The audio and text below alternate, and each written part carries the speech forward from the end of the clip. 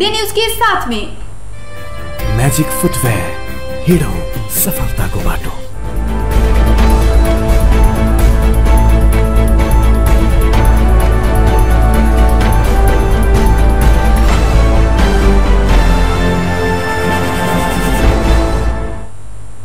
प्रणाम। टुडे समाचार में अपने के स्वागत आज हम ज्योति। शुरू करी शुक्र दिन थप आठ हज़ार पाँच सौ बीस गोटे में कोरोना पुष्टि भेल सम्बन्धी समाचार नेपाल में शुक्र दिन थप आठ हज़ार पाँच सय गोटे में कोरोना पुष्टि देशभर देशभरि कयल बीस हज़ार नौ सौ अड़तालीस पीसीआर के क्रम में आठ हज़ार चार सय सड़सठ गोटे आ पाँच सय तीस एंटीजेन परीक्षण के क्रम में तिरपन गोटे में कोरोना पुष्टि भेल। स्वास्थ्य मंत्रालय जनौनी आज एहिसँगै नेपाल में हाल धरि चार लाख उनचालीस हज़ार छः सय अंठावन गोटे में कोरोना पुष्टि भेल तहिना थप दू सय तीन गोटे के कोरोना के कारण मृत्यु भेल तऽ हाल धरि चारि हज़ार छः सय उनहत्तर गोटे के कोरोना के कारण मृत्यु भेल, मंत्रालय जनौनी अछि।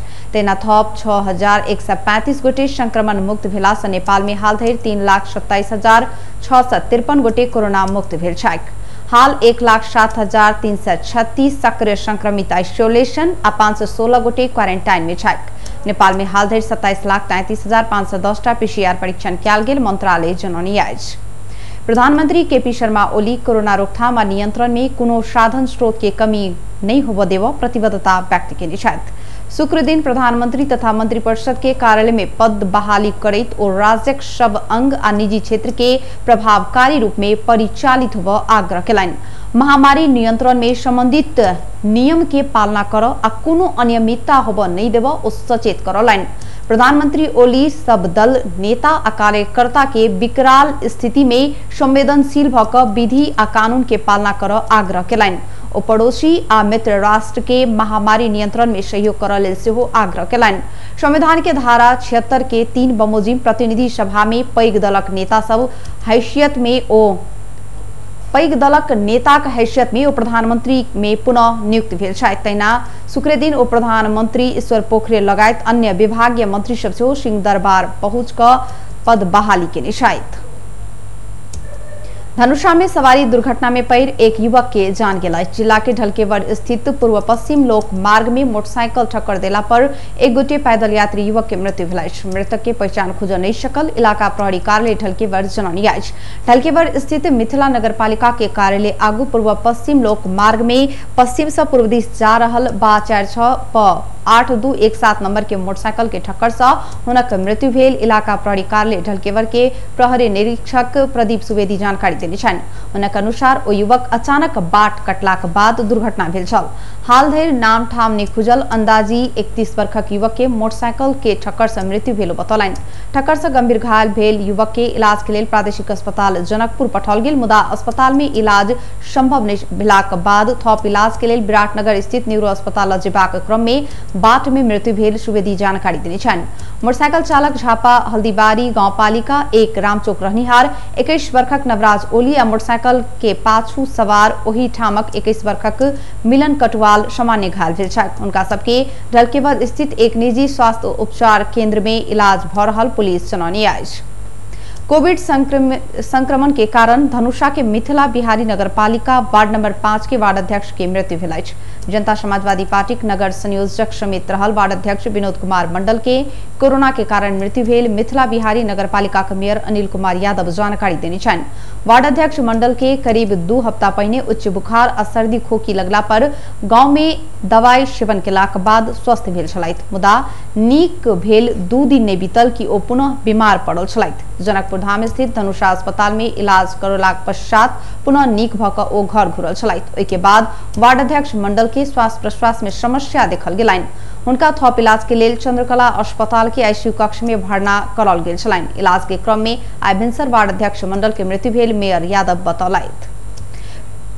प्रधानमंत्री केपी शर्मा ओली शहीद सब प्रति श्रद्धांजलि व्यक्त छन्। शुक्र दिन प्रधानमंत्री ओली शीतल निवास में पद तथा गोपनीयता के शपथ लेलाक बाद लेनचोड़ स्थित शहीद स्मारक पहुँच शहीद सब प्रति श्रद्धांजलि अर्पण केलथि नेपाल में प्रधानमंत्री शपथ लेलाक बाद शहीद सब प्रति श्रद्धांजलि अर्पण करबाक चलन अछि। तहिना शुक्र दिन नियुक्त भेल मंत्री सब सेहो लेनचोड़ स्थित शहीद स्मारक पहुँच क शहीद सब प्रति श्रद्धांजलि अर्पण केने छलथि अर्थमन्त्री विष्णु पौडेल सरकार के संपूर्ण सामर्थ्य, कोरोना रोकथाम और न्यूनीकरण के संगे संक्रमित के प्रभावकारी इलाज में लगे बाक बतौलन शुक्रदिन मंत्री पद के शपथ बाद सिंह दरबार में पदभार ग्रहण करित मंत्री पौडेल कोरोना महामारी विरुद्ध के प्रयास के सघन आ प्रभावकारी बनौत लजेबाक बतौलन ओ संक्रमित के इलाज में कोनो कमी होब नहीं देव, सरकार गंभीर रूप में लागल जानकारी दिलाइन तैना मंत्री पौडेल कोरोना महामारी से प्रभावित नेपाल के अर्थतंत्र के प्रभावकारी रूप में आगू बढ़ाव आवश्यक रहल कहित आगामी बजेट अर्थतंत्र के गतिशील बनेबाक जेका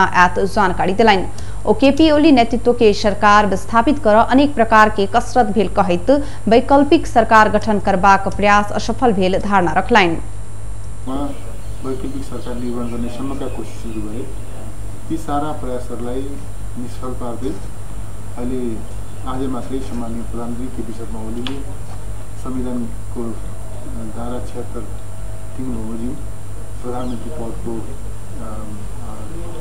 पदभार ग्रहण गर्नुभएको छ। हामीले पनि पूर्ववत ढङ्गले आफ्ना जुन मन्त्रालयका जिम्मेवारीहरू सम्हालेका छौँ मैले म स्वयंले चाहिँ अर्थमन्त्रीको पदभार ग्रहण गरेको छु। म यति बेला हाम्रा सामुन्नेका अ, दुईवटा मुख्य अभिभावक आउनु भन्ने कुरा म राख्न चाहन्छु। कोभिड महामारी जसले सिङ्गो विश्व समाजलाई अत्यन्तै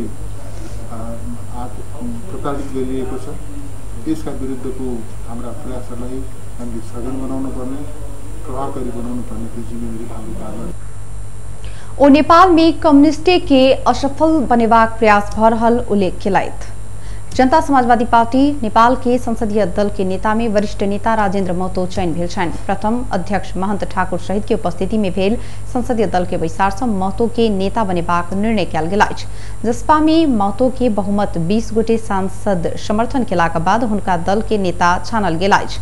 जसपाक एक सांसदक अनुसार काल्हि भक्तपुर के डोलेश्वर स्थित रिसोर्ट में उपस्थित बहुमत 20 सांसद महतो के संसदीय दल के नेता बनौने छथि महतो के दल के नेता बनाउने निर्णय के ठाकुर पक्ष कायल पार्टी कार्यालय में दर्ता करेबाक तैयारी केने अछि जसपा दल के नेता छानला पर दोसर पक्ष में उपेन्द्र यादव आ डॉक्टर बाबूराम भट्टराई सब सहभागी नहीं संगे महतो आब केपी शर्मा ओली नेतृत्व के सरकार में जेबाक पक्का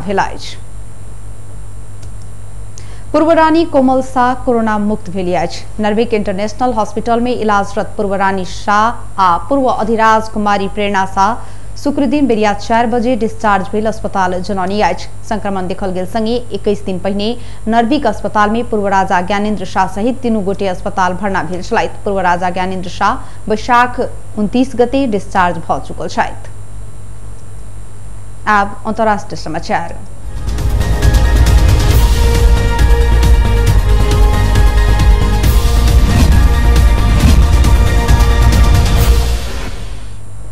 टाइम्स ऑफ़ इंडिया मीडिया समूह के अध्यक्ष इंदु जैन के चौरासी वर्ष के उमेर में निधन भेल छनि। कोरोना संबंधी समस्या देखल गेल, भारतीय मीडिया जनौनी अछि। ओ सन उन्नीस सौ निन्यानवे में टाइम्स ग्रुप के अध्यक्ष बनल छली हुनका भारत के एक प्रतिभाशाली, दूरदृष्टि भेल महिला के रूप में देखल जाय छनि। जाधरि ज़िंदा रहली सदैव नारी के अधिकार के लेल लड़ैत रहली ओ जीवन भर परोपकारी रहली। सन 2000 में ओ टाइम्स फाउंडेशन खोलने छली। उक्त फाउंडेशन के भारत के प्रतिष्ठित फाउंडेशन के रूप में चिन्हल जाइत अछि। फाउंडेशन विपद में पड़ल भारतीय जनता के सहयोग करैत आबि त टुडे समाचार अखन के लेल एतबे। हम ज्योति गदिया जेबाक आज्ञा। देखैत रही टीवी टुडे। नमस्कार।